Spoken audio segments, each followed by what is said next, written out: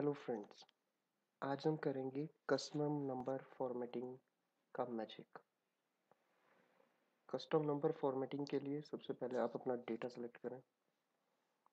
Control one short key for your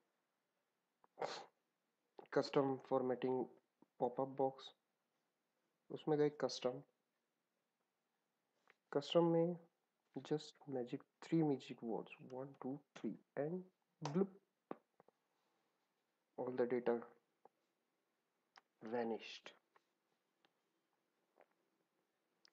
Check data is there or not. Yes it is there. See? Data is there means magic working again select your data. Right click format cell.